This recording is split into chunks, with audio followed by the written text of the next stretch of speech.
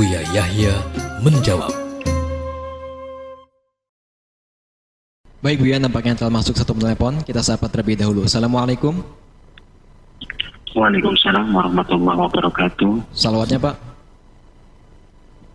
Dengan hamba Allah di Salawatnya dulu. Pak. Allahumma sholli ala sayyidina Muhammad wa ala sayyidina Muhammad Dengan Bapak siapa dari mana? Dengan hamba Allah di Korea Selatan. Ya. Di Korea Korea Selatan. Masya Allah, subhanallah. Baik Pak, bisa langsung bertanya kepada Buya. Silakan. Assalamualaikum Buya. Waalaikumsalam warahmatullahi wabarakatuh. Eh, gini Buya ada pertanyaan dari jamaah di sini. Eh, sebelumnya eh, kami mengelola masjid di Korea Selatan ini sudah hampir tiga tahun. Sekarang kondisi di sini sangat sulit sekali Bu ya. Bahkan sholat-sholat pun berkumpul-kumpul di sini pun eh, dilarang oleh pemerintah setempat karena mungkin eh, karena COVID pandemi seperti ini dan semakin meningkat lagi kondisi eh, COVID di Korea Selatan.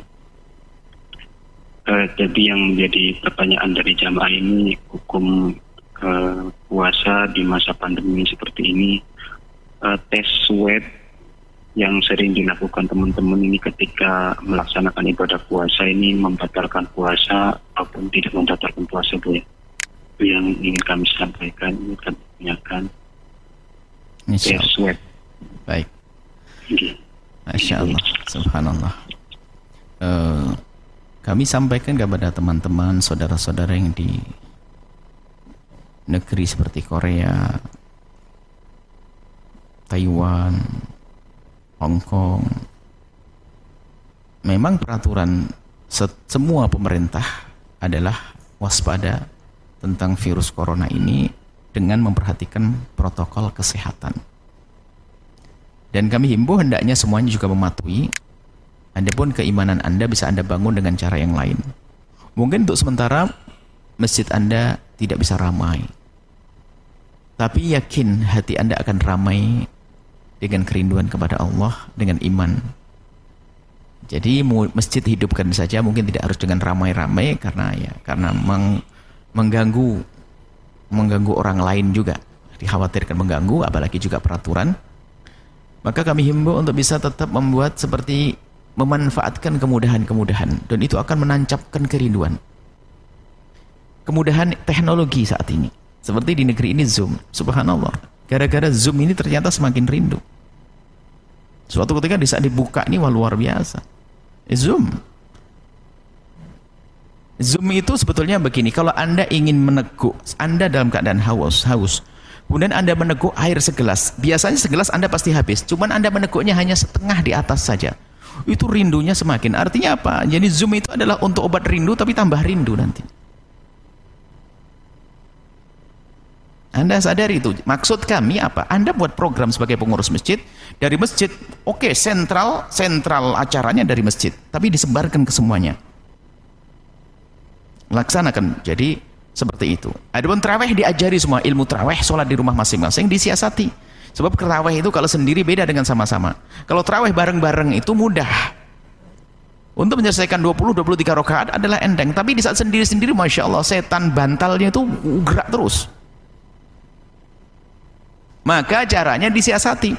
Mungkin di rumah kita atau di tempat kontrakan kita itu dijadikan tempat-tempat. Sesaat di halaman depan, sesaat di depan ini. Jadi dua-dua pindah, dua-dua pindah. Di sana sudah ada koleknya, ada es jusnya, ada ini pindah-pindah begitu. Jadi disiasati agar kita tidak lemah.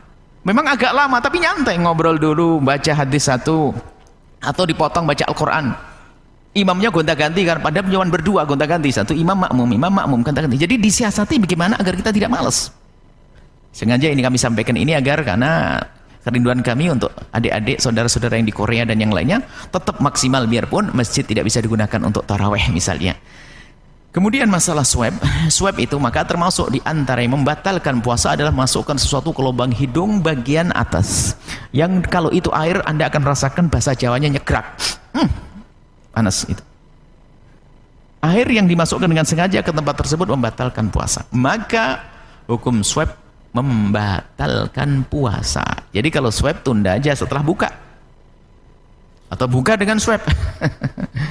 Jadi setelah buka diupayakan setelah buka saja. Uh, adapun suntik vaksin karena itu bukan di lubang yang lima, bukan lubang hidung, lubang mulut, lubang telinga, lubang air, buang air kecil, air besar. Maka suntik vaksin adalah tidak membatalkan. Beda dengan swab. Swab membatalkan, suntik vaksin tidak membatalkan. Suntik bisa dilakukan siang hari, adapun swab jangan dilakukan di siang hari. Karena siang hari akan batalkannya. Kecuali memang Anda bukan orang yang wajib puasa, Anda wanita head. Atau Anda pria dalam bepergian. Ada orang lagi sakit, tidak puasa, eh, ini tidak ada masalah. Tapi kalau Anda orang yang berkewajiban berpuasa, jangan melakukan swab di siang hari, karena itu seperti kita itu makan. Batal puasanya. Dan jika mungkin dan bisa dihindari bukan karena udur, maka dosa. Kalau ada udur, maka Allah memaafkan. Ya karena sakit tadi parah harus segera dilihat lain cerita. Sakitnya itu yang menjadikan dia boleh berbuka. Wallahu a'lam bishawab.